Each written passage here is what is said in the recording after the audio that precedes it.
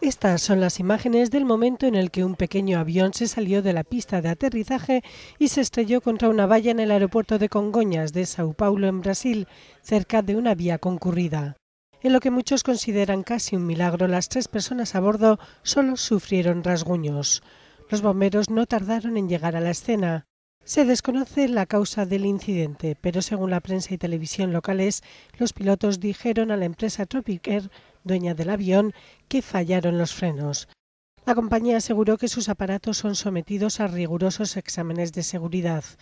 Por el momento se ha iniciado una investigación sobre el accidente que podía haber acabado en tragedia.